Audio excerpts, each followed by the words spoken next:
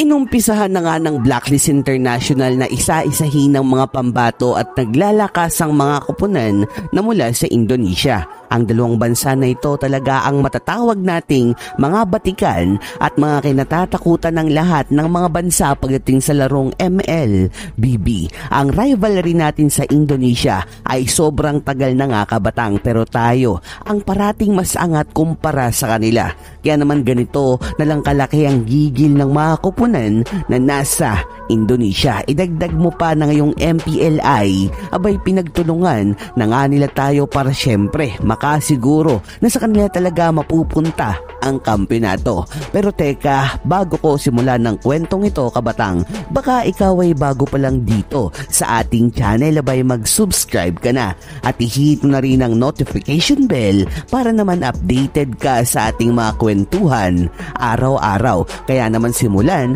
na natin ang araw na ito na punong-puno na naman ng kwentuhan. Tara!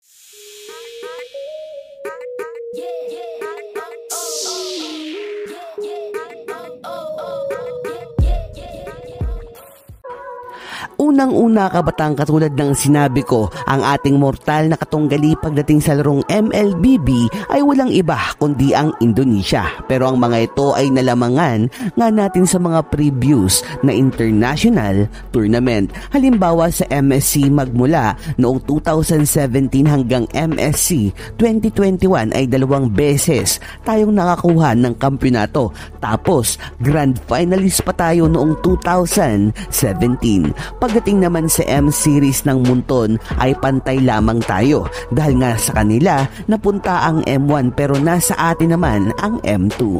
Pero sa SEA Games, syempre pusong Pinoy ang naghahari kaya lamang na lamang talaga tayo kumpara sa kanila. At ang kalamangan lamang nila sa atin ay syempre sila ang nakakuha ng una, pangalawa at pangatlong kampeonato sa MPL Invitational. Pero kung ating bibilangin, dalawa sa MSC, isa sa M-Series, isa sa SEA Games samantalang sila naman ay isa sa MSC, isa sa M-Series at sa kanila parati napupunta ang MPLI. Pero mapunta nga tayo sa tatlong koponan na nakaharap nitong Blacklist International. Unang-una sa koponan na RRQ Hoshi. Hindi basta-basta ang koponan na ito kabatang dahil sila lang naman ang kauna-unahang team sa Indonesia na nakakuha ng 3-time champion sa loob ng walong season nila sa MPL. Una nga nilang nakuha ang kampeonato ng MPL noong season 2 pero umalat sila noong MPL S3 at S4 ngunit muling nakakabalik o nakabalik noong MPL season 5 at nag back-to-back champion pa nga ang mga ito sa MPL season 6. Sa madaling salita ang koponan na RRQ ay isang katunggali na talaga namang sobrang magpapahirap o nagpahirap sa ating pambato na Blacklist International. At ang sumunod nga rito ay ang alter ego dahil hindi rin basta-bastang koponan dahil silang naman ang defending champion ng MPL Invitational. Pangatlo ang Onyx Esports mga kabatang na isang napakalakas rin na koponan dahil unang-una silang naman ay dalawang beses na ring nagkampiyon noon sa MPL. Una nga nilang nakuha ang kampyonato noong MPL Season 3 na naging dahilan para sila rin ang mag-represent ng kanilang bansa sa MSC 2019 na nagresulta sa pagsungkit nila ng kampyonato. Ngunit umalat ang Onyx Esports sa loob ng apat na season nila sa MPL ID dahil magmula S4 hanggang S7 ay hindi na nga sila makakuha ng kampyonato at madalas pa silang nakukulelat. Pero pagsapit ng MPL Season 8 ay muli silang nagbalik sa spotlight at sinungkit ang kanilang pangalawang kampeonato sa MPL. Ang punto ko rito kabatang na ang tatlong naglalakihang mga kupunan na RRQ, Onyx at AE ay talagang may mga napatunayan na sa mundo ng pro scene at ang tatlong ito ang nagtulong-tulong para tayo ay pabagsakin. Kung saan ang unang sumalang kalaban ng Blacklist ay ang kanilang pambato nakuha ng tatlong kampiyonato sa MPL walang iba kundi ang RRQ Hoshi na kung saan sobrang naging mahirap para sa atin ang laban na ito dahil sadyang hindi mo pwedeng maliitin ang kupunan na ito. Pero sa first game ating pinatikim ang lasa ng ube ng Pinas na talaga namang kinain ng RRQ at nagresulta para sila ay ating balagbagin sa unang round. Ngunit sa second game ay tila ba nagkaroon ng problema sa blacklist pagdating sa kanilang draft kaya naman napakadali lamang sa RRQ na makuha ang game na ito. Pero ayon kay Coach Bonchan, aminado, di umano siya sa kanyang draft ang naging problema kaya sila naisahan nitong RRQ. Pero pagdating naman ng game 3 ay talaga namang nag-init na ng tuluyan nitong blacklist lalong lalo na ang kanilang tangke na si Haji na sobrang sobrang taas talaga ng IQ sa paglalaro at maisingit ko lamang po kabatang sandali okay? Pasensya kung may na-offend ako sa thumbnail ko kay Haji na sobrang yabang na caption. Pero kabatang alam nating lahat kung ano ba talaga ang taong ito. At mismo ako ay fan ng fan niya hindi lang bilang player kundi bilang tao.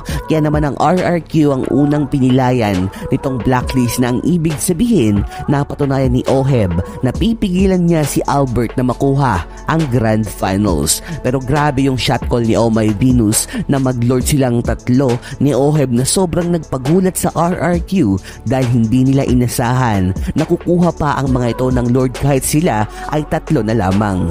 Kasunod nito dahil tinalo natin ang RRQ, abay nakatanggap lang naman ang IG ng blacklist ng multiple reports mula sa mga Indo fans dahil galit na galit ang mga ito sa pagkakatalo ng kanilang paboritong kupunan na RRQ Hoshi. Nangyari na rin di umano ito noong Grand Finals ng MPLID dahil nang matalo ng Onic Esports ang RRQ, abay may isang miyembro ng Onic ang nawala ng IG dahil sa multiple reports na nakuha ng mga ito. Kaya naman dumako na tayo sa Grand Finals mga kabatang na kung saan ang Onic Esports nga ang ating nakatapat dahil sadyang napakalakas namang talaga ng kupunan na ito. Kumbaga ang alter ego ay na 2-0 lamang nila ng napakadaling laro lamang ngunit nang mag-umpisa ang Grand Finals kalaban ng Blacklist. Sa first game pa lamang ay nakita na agad natin na gustong subukan ng Onyx na ibigay kay Omay Venus ang hero na Estes. Kumbaga gusto siguro nilang tikman ng ube na may lahok na Estes. Nakakahanga nga namang talaga na challenge nila ang Reyna sa pangmalakasang hero nito. Ngunit nang mag-umpisa ang laro abay durog, balagbag at barubal ang resulta ng Game 1 dahil hindi man lamang nakabasag ang mga ito sa kahit na isang tower na meron ng blacklist na ang ibig sabihin hinding hindi nila kayang tibagin ang lakas ng isang Oh My Venus gamit ang Estes nito. Sabi ko nga sa inyo na kapag siya ang gumagamit ng Estes sabay nagmumukhang nasa meta ang hero na ito dahil sa lakas ni Venus sa tuwing siya ang may hawak nito. Kaya sa second game abay nadala na agad itong Onyx Esports dahil alam nilang hindi rin pala talaga nila kakayanin ang hero na ito at walang kahit na sinong kupunan sa buong mundo ang kayang pumigil sa Estes niya. At sa second game naman ay dito nagkaroon ng problema ang Blacklist International dahil na rin siguro medyo maasim ang ube na kanilang naluto kaya nagresulta ito sa kanilang pagkakatalo sa second game. Marahil panis ang nabiling gata ng Blacklist kaya ganito ang resulta ng kanilang pangalawang laban. Pero mapunta naman tayo sa third game ng kanilang laban na kung saan sobrang galingan ng coach nitong Onyx Esports dahil nagawa lang naman itong ma-outdraft ng tuluyan ng blacklist at mapilitan si Wise na gumamit ng marksman na hero. Dito tuloy ay mas lalong nahirapan ng Blacklist International na manalo kontra sa kanila kaya naman tuluyan silang binalagbag ng Onyx Indo sa Game 3 at ang panghuling laban para sa Blacklist at ito nga ang magdidikta kung sila ba ay laban o bawi pa dahil dito nakasalalay ang huling pag-asa nila kung sa atin pa nga ba mapupunta ang kampyonato ng MPL Invitational. Ngunit tuluyang naiuwi ng Indonesian team ang kampyonato kontra sa ating pambato na Blacklist International dahil sila ulit ang nakuha ng tropeyo ng MPLI 2020. 2021. Ganun pa man kabatang ganitong ganito ang nangyari sa atin noong nakaraan na ang alter ego ang tumalo sa Bren at na 3-0 pa nga nila ang Bren pero ang Bren ang nakuha ng kampeonato ng M2. Ang aking ibig sabihin lamang dito ay di hamak na may mas malaking laban pa ang nag-aantay para sa atin at ang laban na yon ang talagang karapat dapat nating makuha. At isa pa, pantay ang ping at latency na meron tayo sa M3. Tandaan nyo yan. Kung saan dito ko na gustong ipasok ang ating tanong. Number 1, ano ang hero ni Y sa Game 3? Pangalawang tanong, ano ang tunay na pangalan ng core nitong Onyx Esports? Pangatlong tanong, anong international tournament ang unang nakuha ng Onyx noon? Dahil sa tingin ko ay hanggang dito na lang muna ang ating kwento patungkol sa resulta ng laban natin sa MPLI at huwag kayong mag-alala kabatang dahil mas deserve nating makuha ang kampinato ng M3. Maniwala ka. Yun lamang po Yun lang po. at maraming Malaming salamat. salamat. Stay at home Stay at home. at parating Tunaling. mag-iingat. Iingat. Mahal na mahal mahal mahal. ko kayo. Kayo. Legit. Legit and big time. Mwah.